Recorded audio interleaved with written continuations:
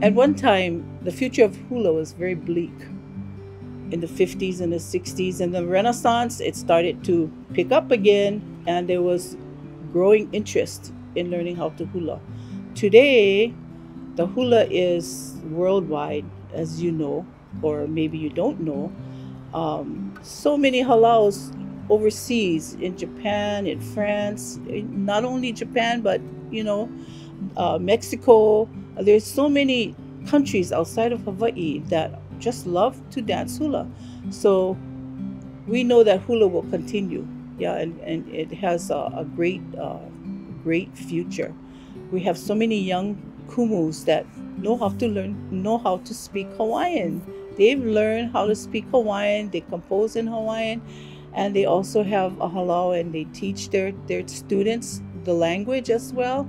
And I think it's just so wonderful that we see this great comeback in hula, strong, strong comeback, and and that's really what we've been working towards since the Renaissance, having our young people learn our culture, learn our language. For me, I'm still learning the language, yeah. Pakiki, yeah, but still must try, yeah, always trying to speak the language.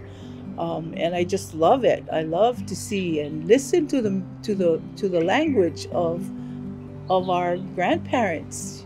But today you hear the babies speaking too, and it's just wonderful. All of it is part of teaching hula, and so the hula uh, will live as long as the language is there, which we know. Yeah, there's a many many children and and and and uh, kumus and adults that are learning and they are um, very determined. We are very determined to know our own language.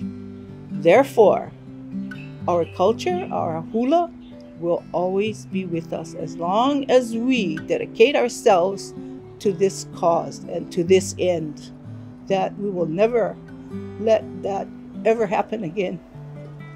Where the extinction of our culture is on the brink of being lost to us. But I don't think it'll ever happen again.